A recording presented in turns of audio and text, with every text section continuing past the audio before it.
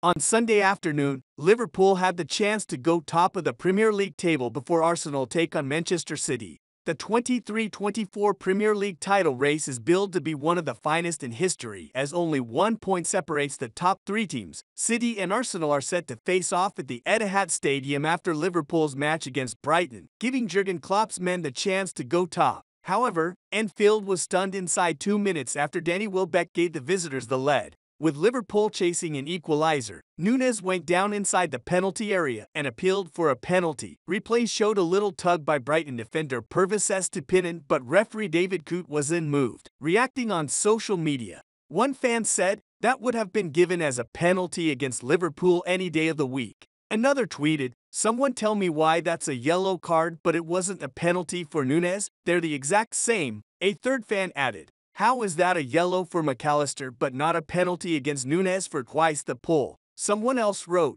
David Coote has given two fouls against Mac Allister which were the same contact as the penalty claim for Nunez. Love the consistency. A fifth commented, if what Mac Allister did was a free kick and a yellow card, that was absolutely a penalty and a yellow card for the pull on Nunez. Speaking on commentary for BBC Radio 5 Live, former Everton midfielder Leon Osman said, there was panic on Estupiñán's face, but I don't think that's enough for a penalty. After falling behind, Liverpool found their equalizer in the 27th minute after Luis Diaz flicked in Mohamed Salah's header.